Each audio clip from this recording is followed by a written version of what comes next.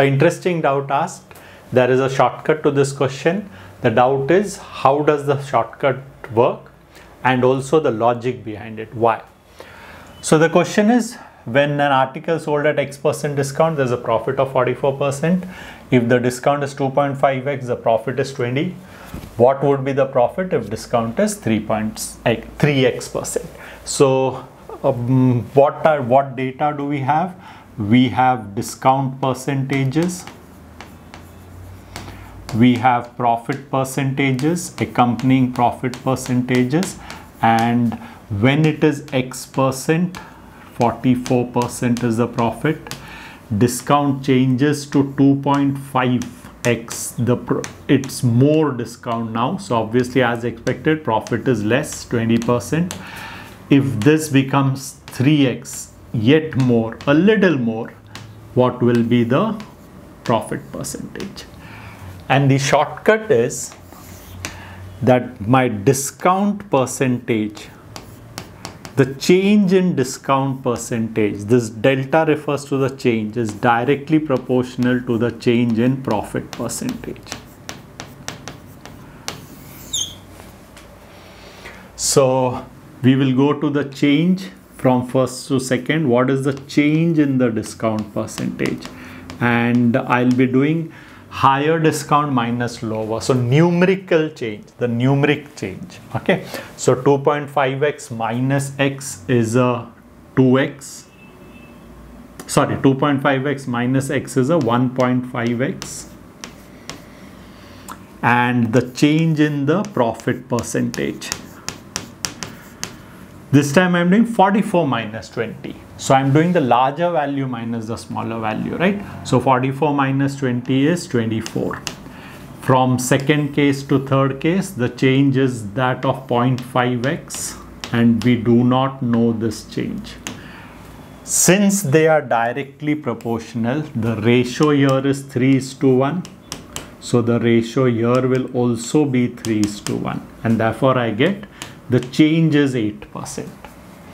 Now the, this is not 8%, the change is 8%. We know discount has gone up. So obviously the profit will go less and my answer is 12%. So this is the shortcut students. Now for the idea, why does it work? Okay, it's a good time saver. Pretty nice. Yeah. In fact, you don't even really need to do so much. I have to explain so I wrote it so elaborately. Uh, even the logic of why it works is very um, interesting students. Yeah, some very nice ways. Uh, we know that I'm working in multiplying factors.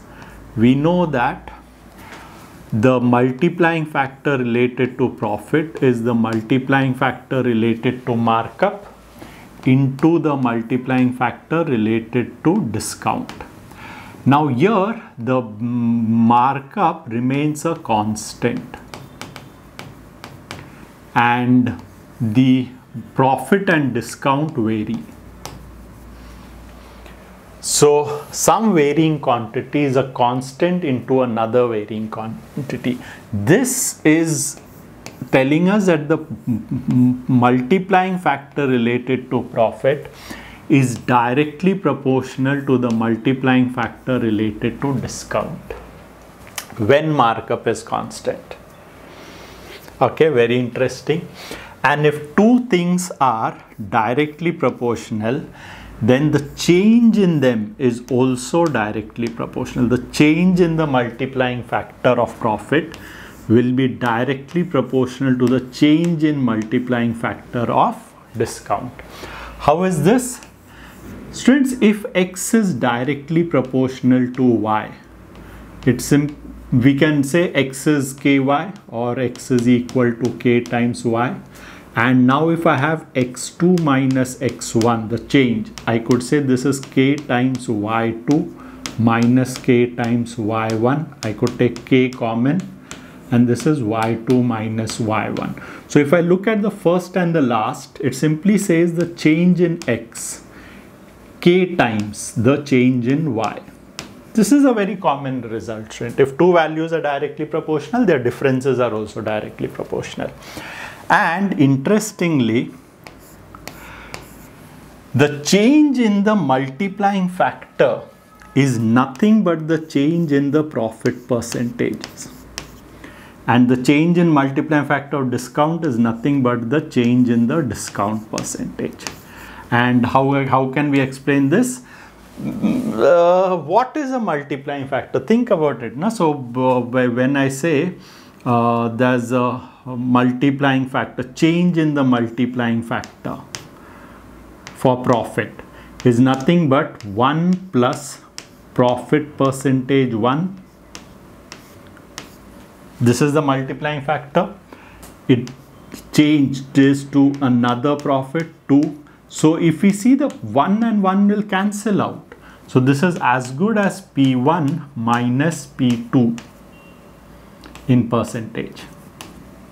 P1 percent minus p2 percent. So the change in multiplying factor is same as the change in profit percentages.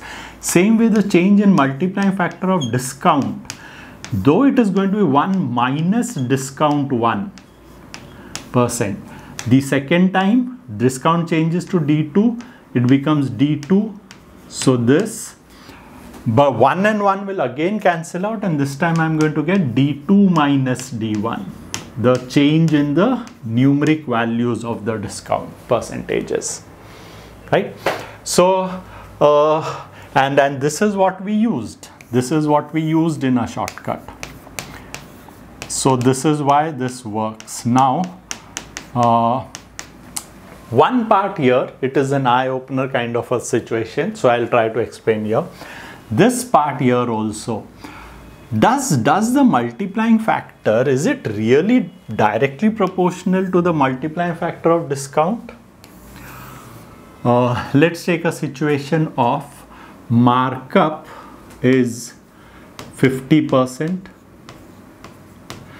and the first situation is discount is 10%.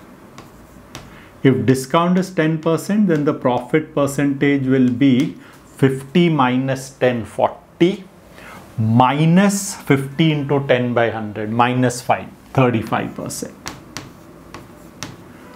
Okay? And if the discount changes to 20% then the mm, profit will change to 50 minus 20 that is 30 30 minus 15 to 20 by 100 okay minus 10 30 minus 10 20 percent. These these values you should do it on your own. Don't don't uh, you know just be a little ahead of me. What did we have to check? We had to check the multiplying factor of profit and discount. In the first case the multiplying factor of discount 1 is 10% discount 0.9 okay the multiplying factor of discount 2 20% discount 0.8 what's the multiplying factor of profit 1 profit 1 35% profit 1.35 multiplying factor of profit 2 20% profit 1.20 if you look at the ratio this is a ratio of 9 by 10 9 by 8 this is a ratio of 15 will cancel this 15 9s are 15 8s are or you look at it this way 9 15s are 135 8 15s are 120 the ratios are same. So basically what we have is the uh, this indeed this is true. The multiplying factor related to profit will be directly proportional to multiplying factor of discount if the markup remains constant